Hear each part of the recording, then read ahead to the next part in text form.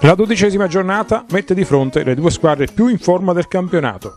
Il Valloscalo, terzo con 23 punti, reduce da 4 vittorie consecutive, ma complessivamente in serie positiva da ben 9 gare.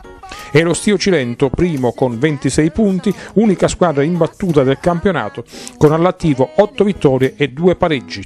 Uno scontro diretto con i padroni di casa che mirano ad agganciare la capolista in vetta alla graduatoria ma dopo un quarto d'ora equilibrato, lo Stio Cilento trova la giocata giusta per sbloccare il risultato.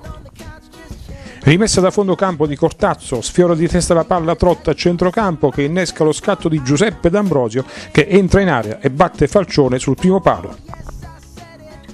Rivediamo l'azione e il colpo di testa di Cortazzo che prolunga la traiettoria della palla a sorprendere la difesa del Vallo Scalo, schierata proprio sulla linea di centrocampo e che non riesce a recuperare sullo scatto di D'Ambrosio e dunque al quindicesimo Stio Cilento in vantaggio.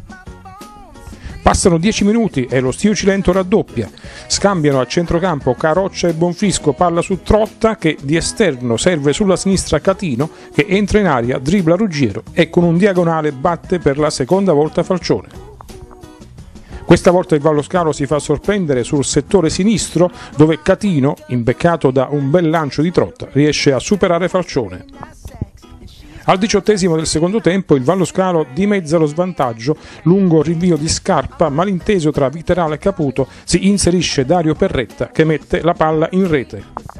E il 2-1 che dà coraggio al Vallo Scalo che si riversa in attacco alla ricerca del pareggio ma lascia inevitabilmente spazio al contropiede dello Stio che al ventiseiesimo chiude la gara proprio su azione di rimessa con Giuseppe D'Ambrosio che realizza il 3-1 finale a favore dello Stio Cilento.